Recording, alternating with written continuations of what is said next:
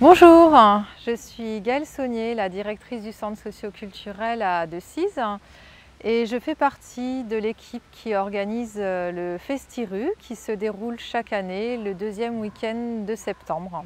Le Festiru, c'est une très belle initiative qui est portée par les habitants du territoire et euh, qui a notamment pour, euh, objectif de promouvoir euh, la culture à Decize et de rendre la culture accessible à tous. C'est vraiment un point très fort, une valeur qui, qui est portée par ses habitants.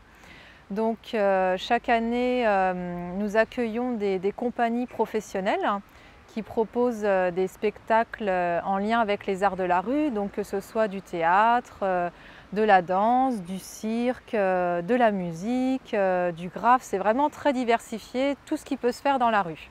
Mais c'est aussi valoriser le potentiel artistique des jeunes du territoire euh, à travers des scènes découvertes, notamment dans, le champ musical, mais aussi du théâtre, de la danse et euh, également promouvoir l'activité des associations culturelles et artistiques hein, pour celles qui le souhaitent. Donc cette année c'est une année assez particulière puisque c'est la, dixième édition euh, de, ce Festiru, ce qui vraiment prouve euh, son succès, sa longévité. Chaque année c'est vrai que nous, nous accueillons beaucoup de, festivaliers, toujours de, plus en plus nombreux, ce qui prouve vraiment également l'attrait touristique de ce festival. Thank you.